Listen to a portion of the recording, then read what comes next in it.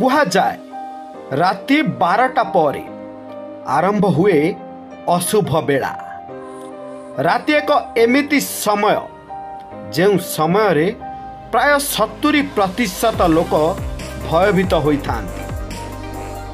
ଆମେ ଆମ ପୂର୍ବଜମାନଙ୍କ ଠାରୁ ଭୂତ ପ୍ରେତ ଡାହାଣୀ ଚିରିଗୁଣି ଆଦି ଭୟାନକ ନାମ ସହ ସେମାନଙ୍କ ଭୟଙ୍କର କାଳ୍ପନିକ ଚିତ୍ରର ବର୍ଣ୍ଣନା ଶୁଣିଥାଉ। ତେବେ କ'ଣ ସତରେ ଭୂତ ପ୍ରେତ ଅଛନ୍ତି? ଯଦି ଅଛନ୍ତି ସେମାନେ କାହିଁକି ମଣିଷର କ୍ଷତି ସାଧନ କରନ୍ତି? ଆମ ମଣିଷ ସମାଜର କେଉଁଠି ନା କେଉଁଠି ମନରେ କିଛି ଖରାପ ଭାବନା ଆନ୍ଦୋଳନ ସୃଷ୍ଟି ହୁଏ। ସମସ୍ତେ ଜାଣିବାକୁ ଚାହାନ୍ତି ଯେ ଭୂତ କ'ଣ ଓ ଏହା କିପରି ଦେଖିବାକୁ ଭୂତ ତଥା ପ୍ରେତ ଶବ୍ଦ ବହୁ ପ୍ରାଚୀନ ଏହା କେଉଁଠି ନା କେଉଁଠି ଧର୍ମ ସହ ନିଶ୍ଚିତ ରୂପେ ଯୋଡ଼ି ହୋଇଅଛି। ସମସ୍ତ ଧର୍ମର ଲକ୍ଷ୍ୟ ହେଉଛି ଏକ ତାହା ହେଉଛି ମୋକ୍ଷ ପ୍ରାପ୍ତି। ତେବେ ସବୁ ଧର୍ମ ଏହା ମଧ୍ୟ ପ୍ରମାଣ ଦିଏ ଯେ ଈଶ୍ୱର ହେଉଛି ପରମାତ୍ମା।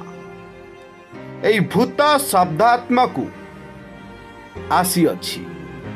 ଆମ ତତ୍ଵ ହେଉଛି ଆତ୍ମ ସମ୍ବନ୍ଧୀୟ ତତ୍ଵ କେବଳ ହିନ୍ଦୁ ଧର୍ମ ନୁହେଁ ବରଂ ଅନ୍ୟ ସମସ୍ତ ଧର୍ମ ମଧ୍ୟ ଆତ୍ମା ତତ୍ଵରେ ବିଶ୍ୱାସ କରନ୍ତି।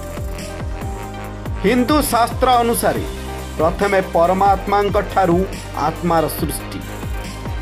ଆତ୍ମା ହେଉଛି ଏକ ଅଦୃଶ୍ୟ ରଶ୍ମି ଅର୍ଥାତ୍ ଏକ ଆଲୋକ ବିନ୍ଦୁ ଯାହାର ରୂପ ରଙ୍ଗ ବର୍ଣ୍ଣ ଜାତି କିଛି ନାହିଁ।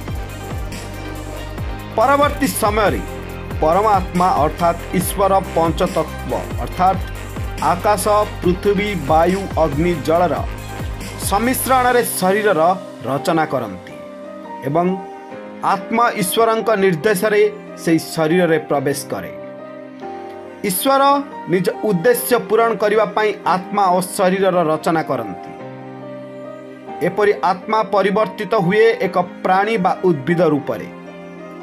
ହିନ୍ଦୁ ଶାସ୍ତ୍ର ଅନୁସାରେ ଈଶ୍ୱର ଛପନ କୋଟି ଭିନ୍ନ ଜୀବଙ୍କ ରଚନା କରିଛନ୍ତି। ସେଥିମଧ୍ୟରୁ ଚଉଦ କୋଟି ଜୀବ ଜଳରେ ଚଉଦ କୋଟି ଜୀବ ସ୍ଥଳରେ ଚଉଦ କୋଟି ଜୀବ ବାୟୁରେ ଅନ୍ୟ ଚଉଦ କୋଟି ଜୀବ ପାତାଳରେ ବାସ କରନ୍ତି। ଏହି ଛପନ କୋଟି ଜୀବଙ୍କ ପାଇଁ ଈଶ୍ୱର ତିନି ଲୋକର ଗଠନ କରନ୍ତି। ଏହି ଲୋକ ପୃଥିବୀର ଉପରକୁ ତିନି ଲୋକ ଅଛି ଓ ପୃଥିବୀ ତଳକୁ ତିନି ଲୋକ ଅଛି। ଉପରକୁ ସୂର୍ଯ୍ୟଲୋକ ସ୍ୱର୍ଗଲୋକ ବ୍ରହ୍ମଲୋକ ଓ ତଳକୁ ନାଗଲୋକ ପକ୍ଷଲୋକ ପାତାଳ ଲୋକ ଅବସ୍ଥିତ। ତେବେ ଏହା କେବଳ ହିନ୍ଦୁ ଧର୍ମର ଦେବପୁରାଣରେ ବର୍ଣ୍ଣିତ। ଅନ୍ୟ ସମସ୍ତ ଧର୍ମ ଆତ୍ମାକୁ ଭିନ୍ନ ଭିନ୍ନ ନାମରେ ବର୍ଣ୍ଣନା କରନ୍ତି।